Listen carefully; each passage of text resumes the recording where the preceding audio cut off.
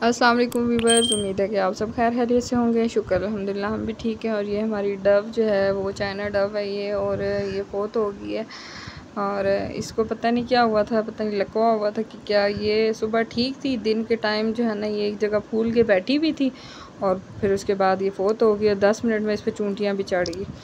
और ये बच्चे जो है ना, मेरी बेटी को बहुत ज़्यादा शौक है ड्राइंग वगैरह का, बहुत ज़्यादा इसको अच्छी लगती है। मतलब ये एक्स्ट्रा टाइम में जो है ना, ये ड्राइंग वगैरह करती है। और ये बच्चे भी बैठे हुए थे बेटा प्रैक्टिस कर रहा था और बेटी जो है ना, वो रफ़ नोटबुक पे लगी हुई थी। मतलब अपने पास कलर्स वगैरह रख के तो अपना काम कर रही थी।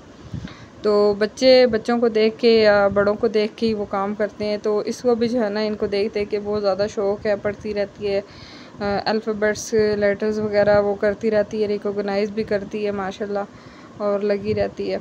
और मेरा ये ख्याल है कि मोबाइल में बहुत ज़्यादा कम देती हूँ। जब अम्मी के घर, नानों के घर ही जाते हैं तो वहाँ पे यूज़ करते हैं। मतलब मेरा रुझान होता है कि बच्चे अगर एक्स्ट्रा टाइम है तो वो खेल लें या तो या फिर ड्राइंग वगैरह कर लें।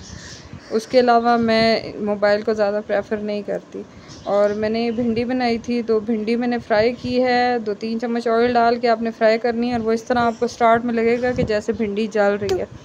और वो जल नहीं रही होती, असल में फ्राई हो रही होती है और उसकी जो लेस होती है वो ख़त्म हो रही होती है। और उसी देचके में मैंने, क्योंकि टेस्ट बड़ा अच्छा आता है, उसी ही देचके में मैंने ऑयल डाल के तो तकरीबन पाँच बड़े प्याज काट के डाल दिए हैं। और साथ ही लहसन भी छोटा छोटा बारीक बारीक काट के डाल दी। अदरक मैं इसमें नहीं डालती, ना ही पेस्ट डालती हूँ, इसी तरह लहसन काट के डालती हूँ। और ये तकरीबन आधा किलो टमाटर हैं। ये मैंने आधा किलो टमाटर कुछ छील के काटे हैं और कुछ इसी तरह ही। सफ़ेद ज़ीरा, लाल मिर्च और हल्दी और नमक, बस। ये तीन चीज़ें जाएँगी सफ़ेद ज़ीरा ज़्यादा डालती हूँ मैं और लाल मिर्च और हल्दी, ये सारी चीज़ें मतलब आप अपने मकदार और अपने हिसाब से आप लोग डाल सकते हैं। और इसी तरह खड़ा खड़ा ही प्याज रखना है। अपने सिर्फ़ उसका जो है ना, वो कच्चापन दूर करना है बस। और उसके बाद आपने टमाटर ऐड कर देने हैं। तो देखें, कुछ का छिलका लगा हुआ है और कुछ का नहीं। और मैंने भिंडी डाल के वही तो उसको दम पे रख दिया था और बस ये दम इसका मैंने खोला है। तो ये देखें, भिंडी बिल्कुल तैयार है।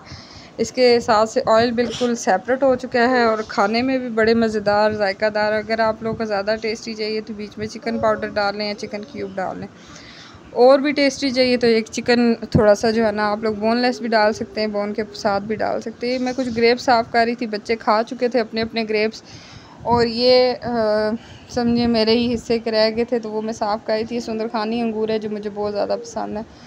तो बच्चे जो है ना, अपने अपने सारों का ज़ाहिर सी बात है फ्रूट है, जो भी हर चीज़ का अपना अपना हिस्सा होता है।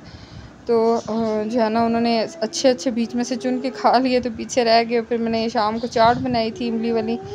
और चने बॉयल पड़े हुए थे, बस आलू चने आप बॉयल करके रखें तो आपको कोई मसला ही नहीं, चावलों में डालने जिस चीज़ में आप डाल सकते हैं। तो चने बॉयल पड़े हुए थे, बस आलू बॉयल करे फटाफट जो है ना, मैंने सारा कुछ डाला। तो मैं धनिया और पुदीना नहीं डालती, लेकिन मुझे पुदीना खुद ज़ाती तौर पर बहुत पसंद है इसमें। तो बच्चों के जो पापा हैं वो नहीं खाते पुदीना, वो टमाटर निकालते हैं, बच्चे भी टमाटर नहीं खाते, प्याज निकाल देते, बस बीच में क्या रह जाता है, आलू और चने। तो कलरफुल चीज़ें बड़ी मुझे अच्छी लगती है, लेकिन बीच में मैंने बरीक बरीक काट के दो तीन जो है ना वो डंडियाँ डाल ही दी पुदीने की, पत्ते यानी कि। और इमली फ्रेशली मैं लेके आई थी तो बड़े ही मज़े की थी। और आप लोगों के लिए एक स्पून चेक करें, बताएँ कैसी है। और मैं ये समझती हूँ कि आप लोग बच्चों की पसंद का ख्याल रखें। क्योंकि जैसे कहते हैं ना कि मर्द का आप ख्याल रखें तो वो आपका डबल ख्याल रखेगा। ऐसे ही अगर आप अपने बच्चों का ख्याल रखें तो वो आपकी हर बात समझेंगे मानेंगे और उनको पता होगा कि हमारे वालदेन भी हमारी बात सुनते हैं, हमारी पसंद का ख्याल रखते हैं। जब आप अपनी मर्ज़ी चलाएँगे ये खाओगे खाओगे ऐसा कुछ तो बच्चे भी ना आपकी रिस्पेक्ट करेंगे और ना ही आपकी कदर करेंगे। उनको पता है, भैया, उन्होंने अपनी मनमानी करनी है तो हम अपनी मनमानी करें। तो आप लोगों का क्या ख्याल है और आप लोग क्या करते हैं अपने बच्चों के साथ? ज़रूर बताइएगा और उम्मीद करती हूँ आपको मेरा ब्लॉग अच्छा लगा होगा।